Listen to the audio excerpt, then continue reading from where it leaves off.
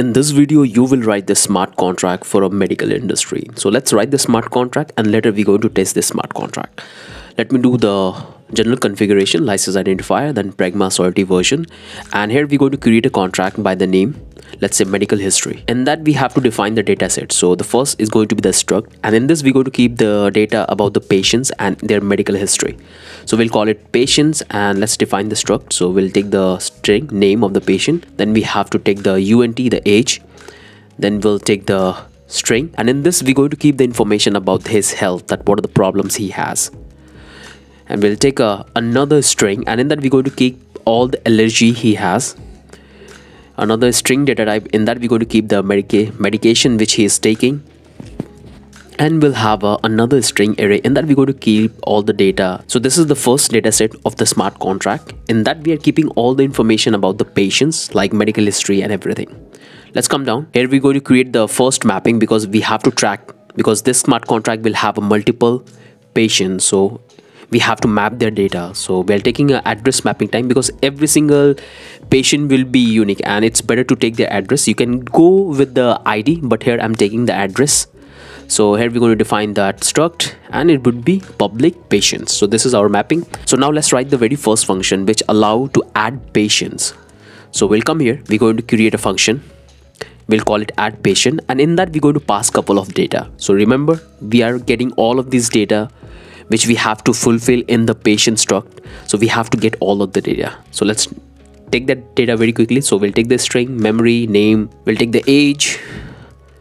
We'll take the string array because the condition so it's gonna be in uh, array type. We'll take the allergy. We'll take the medication. We'll take the and that's the data we are taking from the user and it's going to be a public so anybody can call and interact with the smart contract. And now we have to store all of this data into our struct so let's do that very quickly. We'll take that patients memory and we'll give this patients and this is how we're going to update our struct. The same structure we are following here whatever we have follow in the real estate smart contract. So if you haven't watched i'll link in the button in the description so you guys can follow that. So let's update the struct and we have to get this message dot sender is going to be the patient because he's the one who going to call the call the function. So that's the data we are updating. Now let's come down here. We are done with the very first function which allow to add patients. And now we have to write uh, one more function which allow to update the patient's information. Okay? Because patient is not going to have the same health condition. Some of the patient will get improve in their health. Some of them will get worse. And some of them will have extra disease. So we need to have a function in our smart contract which allow to change the data of the patient. So that's the function we're going to build that. We'll call it function update patient and in that we're going to take the so we're going to define a couple of variables in that. So condition allergy memory medication we have now we have this. These are the data we are taking from the update patients and now we have to simply update that. So we'll have to get the copy of the struct and now we're going to simply change that. So this is how we're going to identify because patient address is going to be the unique identifier of that patient. So once we have the copy of that patient that particular patient who wants to update his data. So once we have his data now we have to simply update his data. So let's do it very quickly.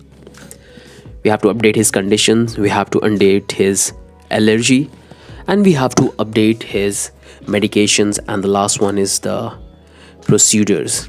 Hope i'm pronouncing this correctly so we have updated all of these data.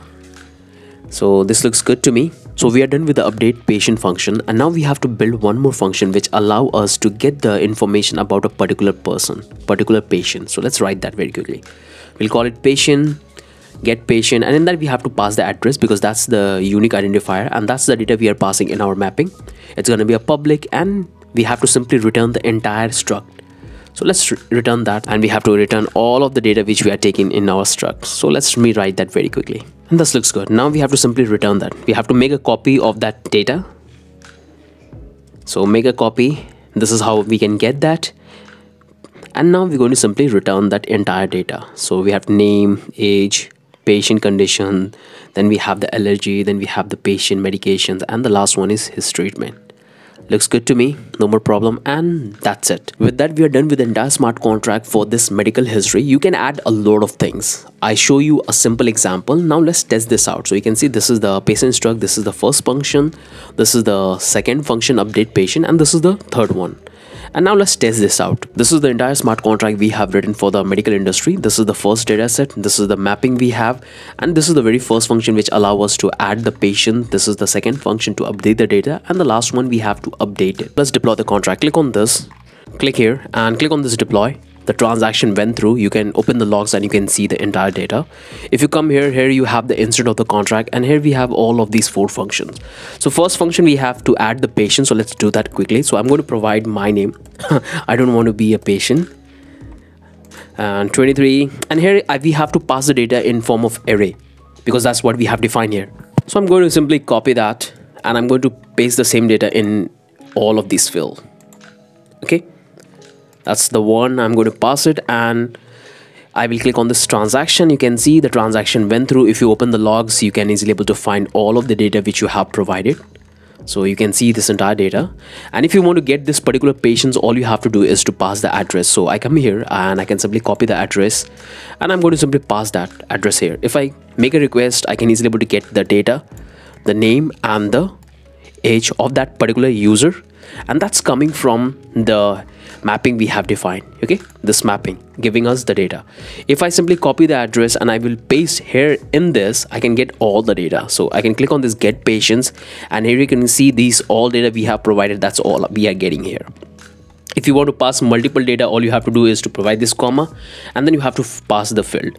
Everything's working fine. So hope this entire contract makes sense to all of you guys. Now you guys have know that how you can write the smart contract and you have to practice this small small smart contract and that will give you a very good idea that how you can write smart contract for a real world application. And this smart contract is absolutely fine. You can use in your front end. So make a simple front end one page front end where you can allow user to put their medical history and they can and you can display right in front of them. Okay?